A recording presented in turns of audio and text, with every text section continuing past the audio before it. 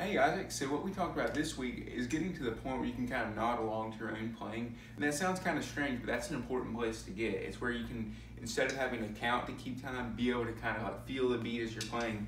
So what I want you to do is I want you, we've done something very similar to this before. We're gonna revisit this. And this would actually be a good warm up for whenever you sit down to practice to start with this. I want you to count one and two and three and four. And I want you to play a drum beat like this. And then just on the snare drum as a drum fill, I want you to first play quarter notes, then I want you to play eighth notes, then I want you to play sixteenth notes. It's gonna sound like this.